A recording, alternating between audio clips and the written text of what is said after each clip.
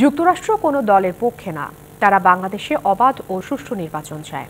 রাজনৈতিক দলগুলো যেন নির্বাচনমুখী হয়। নিউ ইয়র্কে জাতিসংঘের সাধারণ অধিবেশন নিয়ে নিয়মিত সংবাদ সম্মেলনে পররাষ্ট্রমন্ত্রী বলেন বিএনপি নির্বাচনে আসবে কিনা সেটি তাদের মাথা ব্যথা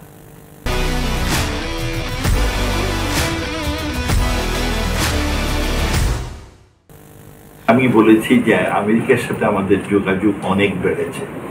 আর তারই নমুনা যে একাধিক আপনার প্রতিনিধি আমাদের সাথে সাক্ষাৎ করছেন। আজকে আমাদের প্রধানমন্ত্রীর সাথে জায়া দেখা করেছেন। উনি মূলত রোহিঙ্গাদের ব্যাপারে আলাপ হয়েছে।